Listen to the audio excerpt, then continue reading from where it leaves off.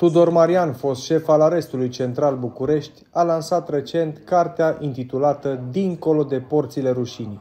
Volumul abordează o tematică sensibilă și oferă o perspectivă din interior asupra realităților dure din sistemul penitenciar românesc.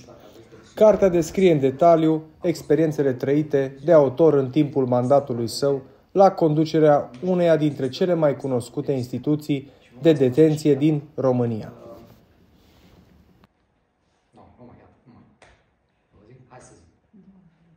Fost arestat un, un lot de ăsta destul de mare. Evit întotdeauna să spun uh, uh, că erau clanuri, că nu suport cuvântul ăsta clan.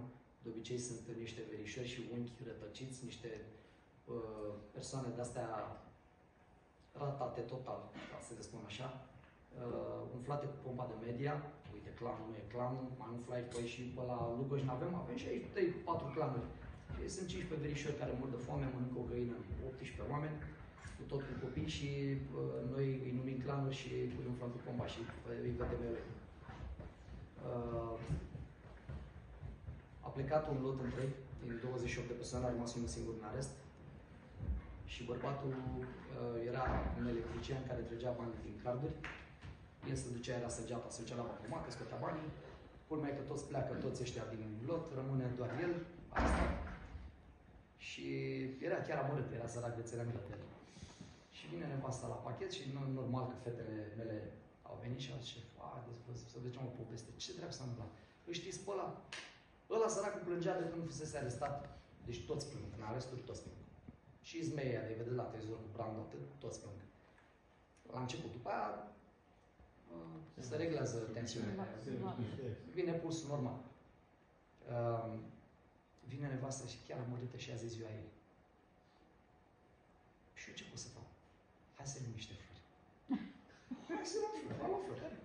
S-au dus fetele, au cumpărat un buchet de flori. Ai trag cu florile cu colegii, cu mascații. L-au scos pe ăsta afară, băie, ziua nevastă, da, uite, ia florile fără cătușe, ieși de aici.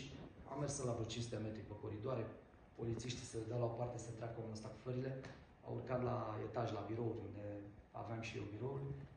Toți colegii i-au făcut loc să treacă, erau avocați de acolo. Oamenii erau chiar încântați de, de gest și imaginați-vă cum femeia îl vede pe ăsta că intră cu un buchet de flori. Ar a costat 50 de lei.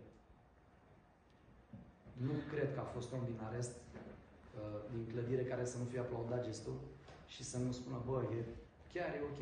Dar nu cred că a fost șef de-al meu care să nu caute să-mi dea una în cap că am făcut gestul ăsta și am expus poliția la un, la un moment anume. Dacă ar fi fost uh, Borcea, Cristi Borcea și prima florile astea, cu siguranță o mitralia cineva.